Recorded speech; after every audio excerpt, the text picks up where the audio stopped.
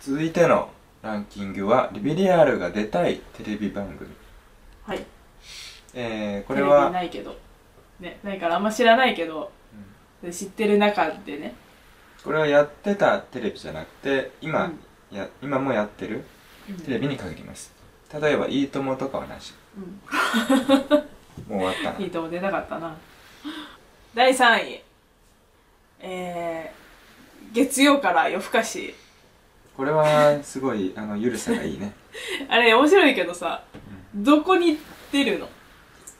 調査される側？される側かもしくはゲストとしてチラッと出るか。う ん調査されるとしたら何の調査されると思う？うん。何の件だと思う？謎のキャラクターがいる。変なグッズを売るバ バンドがいる。まあフィッシュ関連であー。なんかだからライブハウスアンダーグラウンドのバンドの物販が様子がおかしい件みたいな。うん。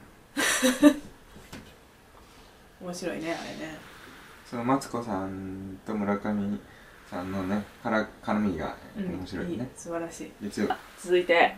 続いて。第2位。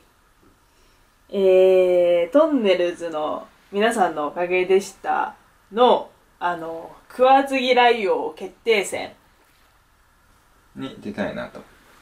とゆきことが言ってます、ね前から出たくてねあのー、その時に食べる食べ物とか もうすでに決めてる状態なんで。えそれは何？それ食わず嫌いのものだけじゃなくて3種類ともみたいなまあそうあるこ程度の組み合わせでいくみたいな。そうそうこの組み合わせなら分かりづらくて さらに美味しいもの食べれるなっていうちょっと。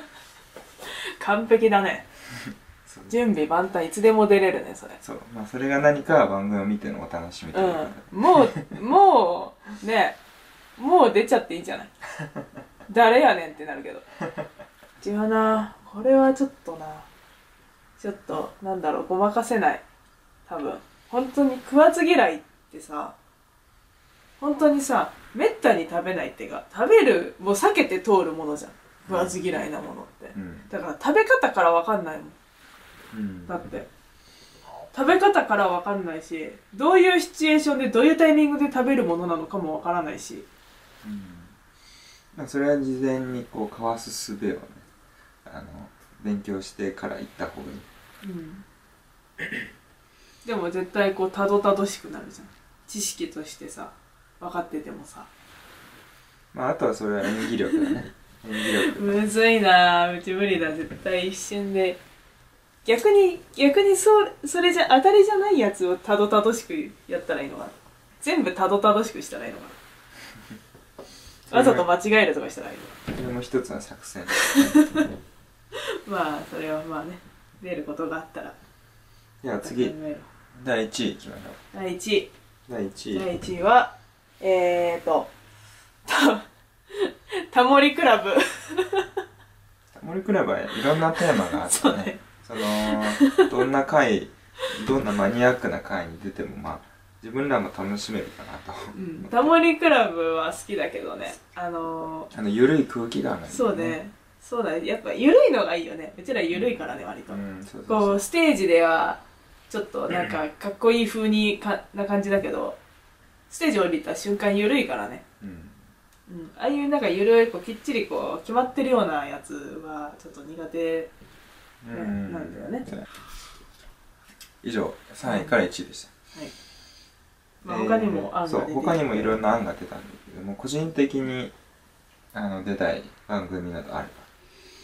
個人的にはねだからねだから世にも奇妙な物語ねめっちゃ出たいんだよね。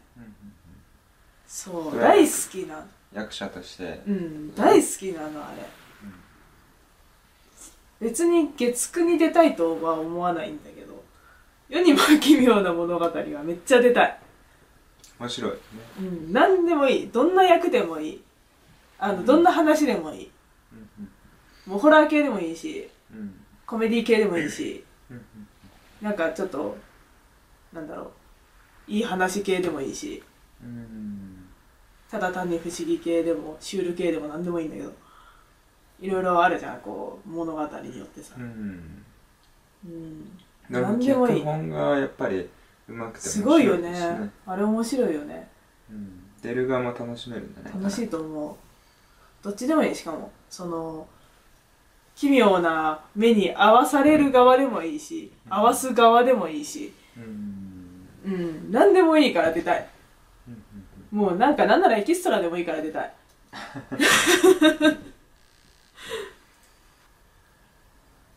それではまた次回。